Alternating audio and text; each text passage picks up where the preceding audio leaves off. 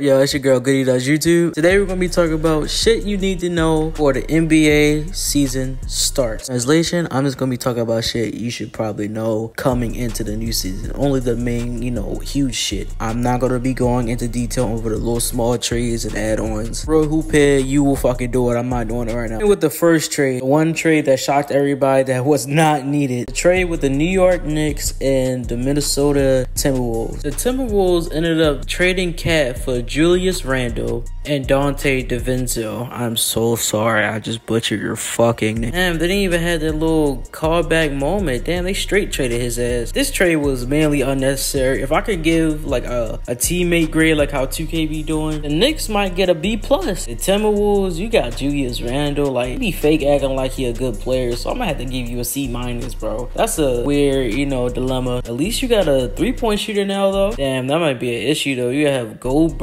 Anthony Edwards, and you gonna have random X for the ball. Yeah, that's nah. I don't know if that's it, yo. Honestly, KAT, I can't believe they actually traded KAT. I would expect them to trade like anybody else but KAT, but I guess they felt like they needed to move on from him. This nigga was in the fucking gym with his dad as he got traded to the Knicks. That's cold fucking blood. Alright, the next obvious shit that you need to know is LeBron ugly ass. He signed a three-year contract with the Lakers. Lakers ended up getting JJ Redick and drafting Bronny James at the 55th pick. You're a Lakers fan right now. Just this is just your moment. Three years is just a whole reality show of LeBron playing with his son. I don't know if he's gonna go to the playoffs. They did just get a rookie play with Bronny in the G League, so that might be something. I don't know. The Lakers haven't really been doing much. It's really just been the LeBron show until he retires. Probably not going to trade for anybody significant. They waived Gabe Vincent, a player that was with the Heat, went to the Lakers for a year, played good, good three point shooter. He's not there anymore. it did make a solid move with getting the new coach because the coach last year, bro, I'm, bro, he was just lost. Before off season, you know, grade, I'm gonna give them a cool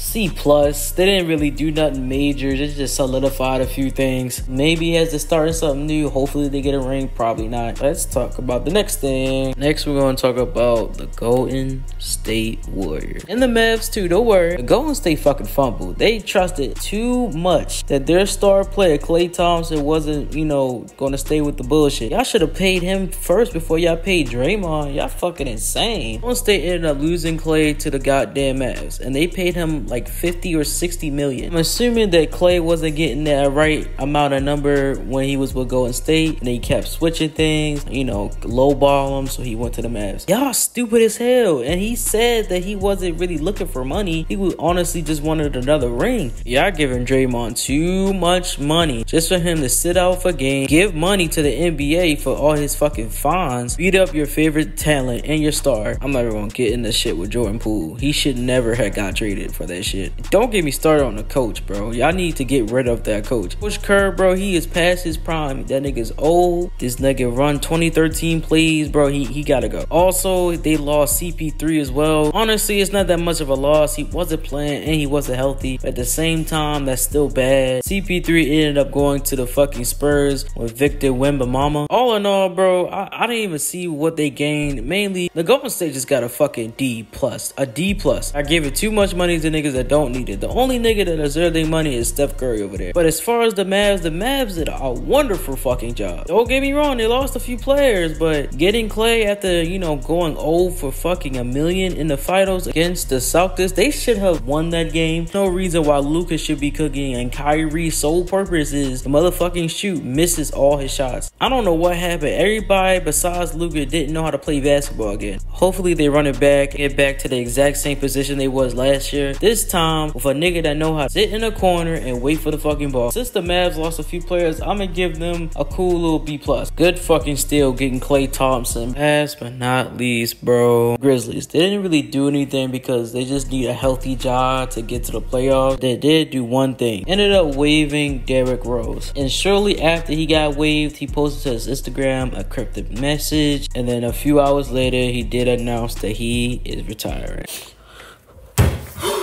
as you as you can uh, hear me, uh, I'm, I'm still in the now.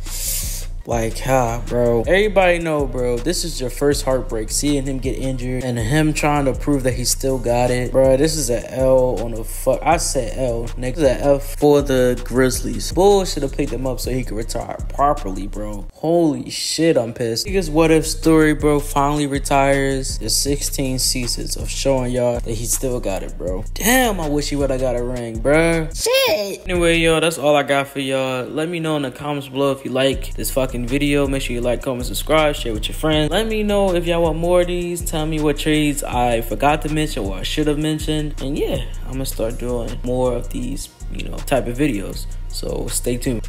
Fucking and punching my liver. Kill me, my mama never forgive me.